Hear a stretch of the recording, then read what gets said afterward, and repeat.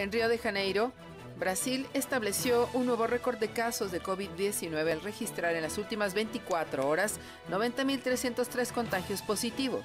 Además, se contabilizaron 2.648 nuevas muertes por coronavirus en el último día, segunda peor cifra en el país, informó el miércoles el Ministerio de Salud.